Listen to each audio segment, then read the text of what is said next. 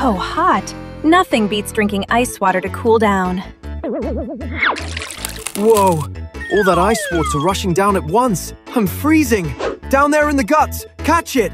There's already a traffic jam down here. More ice, and we're gonna have a reindeer situation. Well, what now? Blocked below. Go through the top then. Why are you looking at me? This is a one-way door. Entry only. Whether anything leaves today is up to me. Oof, finally pushed it through. Hey man, why are you bleeding?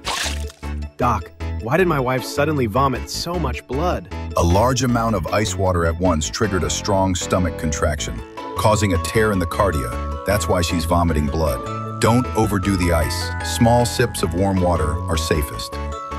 If you enjoyed today's content, the best way to show your support is to give it a like and subscribe. Take care, keep smiling, and I'll see you in the next video. Bye!